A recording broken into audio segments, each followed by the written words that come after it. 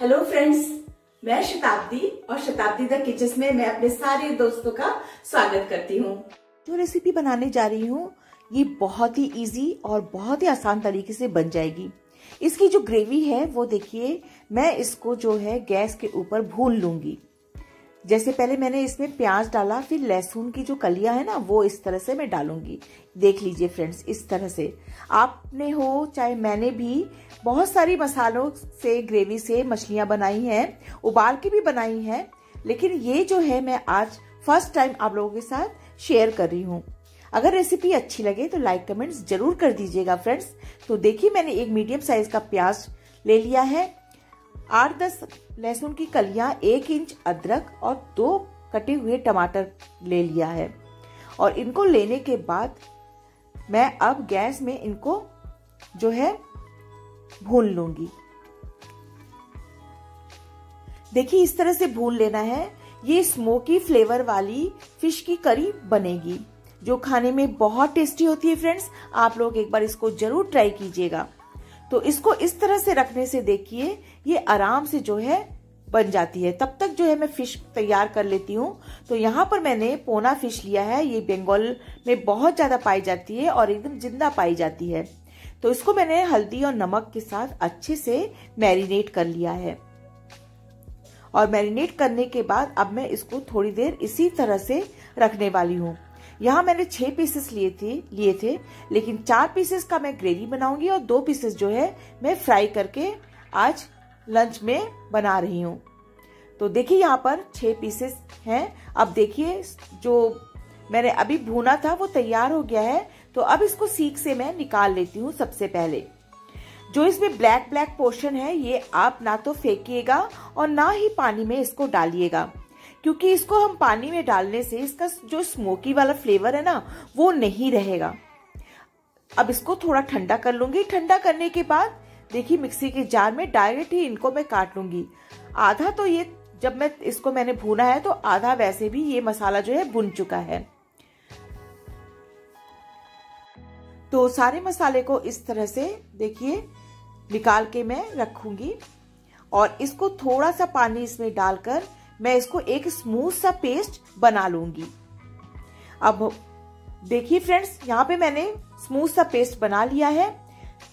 थोड़ा black colour आया है। इस ब्लैक कलर से जब ग्रेवी बनती है ना तो बहुत ही टेस्टी लगती है दिखने में। और खाने में तो इसका टेस्ट बिल्कुल ही अलग है। आप लोग ज़रूर ट्राई कीजिएगा, क्योंकि ये रेसिपी बहुत ही टेस्टी बनी थी। और एकदम कम इंग्रेडिएंट से मैंने बनाया है, लेकिन थोड़ा अलग तरीके से बनाया है।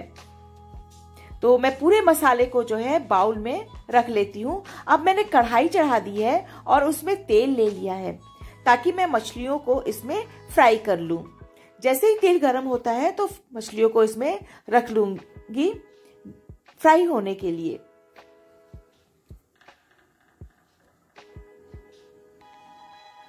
पौना मछली जो है खाने में बहुत ही टेस्टी होती है। कांटे थोड़े से ज़्यादा होते हैं, लेकिन खाने में बहुत ज़्यादा टेस्टी होती है। इसको बहुत ज़्यादा फ्राई भी खाया जाता है। तो आज मैं देखिए ग्रेवी जो बना रही हूँ, एकदम अलग तरीके से। तो अब मछली को बोथ साइड से अच्छे से फ्राई कर लूँगी। और जैसे ये फ्राई हो जाती है तो मैं इनको एक प्लेट में उठाकर रखती हुई जाऊँगी।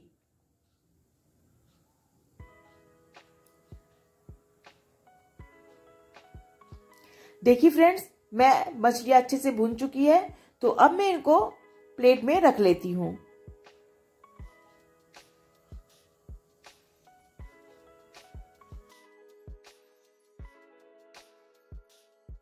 उसी तेल में, देखिए जो मैंने मसाला पीसा था, उसी तेल में डालूँगी और इसको अच्छे से फ्राई करना है। दिखने में तो ये थोड़ा सा ब्लैक ब्लैक लग रहा है, लेकिन जब ग्रेवी तैयार हो जाएगी ना मतलब फ़िश करी एकदम तैयार हो जाएगी तो इसका कलर एकदम गोल्डन लगता है दिखने में। अब मैं इसमें डालूँगी थोड़ी सी हल्दी और थोड़ा सा नमक भी इसमें मैं ऐड कर दूँगी। जो भी मैं ऐड कर रही हूँ, सारे इंग्रेडिएंट्स के नाप मैं हमेशा वॉल में दे देती हूँ। नमक आप थोड़ा सा देखकर यूज़ कीजिएगा, क्योंकि मछलियों में ऑलरेडी नमक था। तो अब इस मसाले को बहुत ही अच्छे से फ्राई कर लेना है। इसमें मैं इसके कलर को और भी अच्छा बनाने के लिए मैं इसमें डालूँगी आधा चम्मच जो है कश्मीरी मिर्च। इसको डालने के बाद अब मसाले को अच्छे से भून लेना है मतलब फ्राई कर लेना है। जो फ्रेंड्स मेरे चैनल में पहली बार वीडियो देख रहे हैं, उनसे रिक्वेस्ट है कि मेरे चैनल को ज़रूर से सब्सक्राइब कर दें और बेल आइकन भी प्रेस कर दीजिएगा। ताकि जब भी मैं कोई भी वीडियो अपलोड करूँ, आप तक सबसे पहले पहुँच जाए। तो यहाँ पर मैंने मसाले को अच्छे से भूनने के लिए थोड़ा सा पानी भी ऐड कर दिया है। और यहाँ आधा टीस्पून गरम मसाला भी यूज़ कर रही हूँ। तो अब एक उबाल आने तक थोड़ी देर वेट कर लेना है।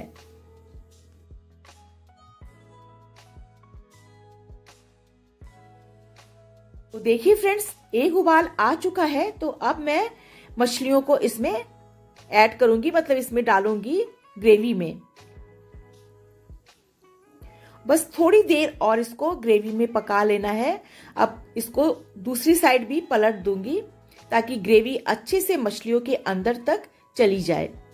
बहुत ही टेस्टी बन, बनी है फ्रेंड्स। आप लोग ज़रूर ट्राई कीजिएगा क्योंकि नए नए डिश बनाने में और खाने में तो सभी को अच्छा लगता है। तो अब ग्रेवी को अच्छे से मछलियों मछलियों के अंदर तक पहुँच जाए, इसलिए मैं इसको दो तीन मिनट तक ढक के पकाऊँगी। अब जैसे ही दो मिनट दो से तीन मिनट हो जाता है तो ढक्कन खोलूँगी तो फ़िश करी बनकर बिल्कुल तैयार है। आप लोग देखिए, इसका कलर देखिए, और देखिए, तेल जो है एकदम सेपरेट होने लगा है। तो फ्रेंड्स अगर आपको रेसिपी अच्छी लगी हो तो ज़रूर लाइक और कमेंट्स ज़रूर कीजिएगा। और नए फ्रेंड से भी रिक्वेस्ट है, ज़रूर मेरे चैनल को सब्सक्राइब कर दीजिएगा। तो अब मैं इसके ऊपर डालूँगी थोड़ा सा धनिए का पत्ता जो पहले से मैंने काट के रखा था। तो देखिए गर्मा गर्म फ़िश करी तैयार है। गरम गरम चावल के साथ बहुत ही अच्छा लगने वाला है। तो चलिए सर्व भी कर लेते हैं।